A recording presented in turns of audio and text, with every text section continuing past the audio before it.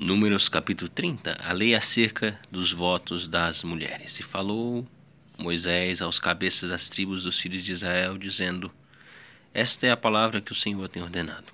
Quando o homem tiver fizer voto ao Senhor, ou fizer juramento ligando a sua alma com obrigação, não violará a sua palavra, segundo tudo que saiu da sua boca fará. Também, quando uma mulher fizer voto ao Senhor e com obrigação se ligar em casa de seu pai na sua mocidade, e seu pai ouvir o seu voto e a sua obrigação com quem ligou a sua alma, e seu pai se calar com ela, todos os seus votos serão valiosos, e toda obrigação com que ligou a sua alma será valiosa. Mas se seu pai se opuser no dia que tal ouvir, todos os seus votos e as suas obrigações com que tiver ligada a sua alma não serão valiosos, mas o Senhor lhe perdoará, porquanto seu pai lhos vedou.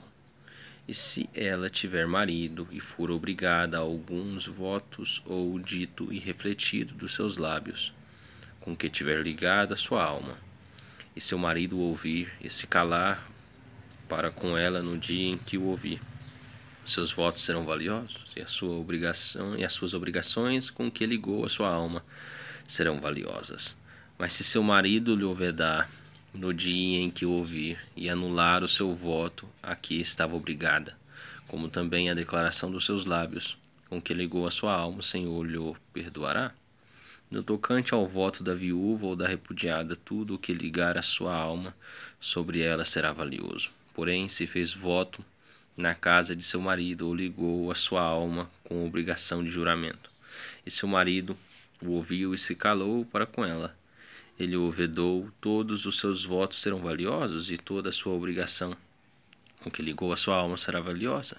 Porém, se seu marido lhos anulou no dia em que os ouviu, tudo quanto saiu dos seus lábios, quer dos seus votos, quer da obrigação da sua alma, não será valioso, seu marido lhos anulou, e o Senhor lhe perdoará. Todo voto e todo juramento de obrigação para humilhar a alma, seu marido confirmará ou anulará. Porém, se seu marido de dia em dia se calar inteiramente com, para com ela, então confirmará todos os seus votos e todas as suas obrigações que estiverem sobre ela. Confirmado lhos tem porquanto se calou para com ela no dia em que o ouviu. Porém, se de todo lhos anular depois que o ouviu, então ele levará a iniquidade dela. Estes são os estatutos que o Senhor ordenou a Moisés entre o marido e sua mulher, entre o pai e a sua filha, na sua mocidade, em casa de seu pai. Se Deus quiser, capítulo 31 de Número Céu, próximo a ser lido.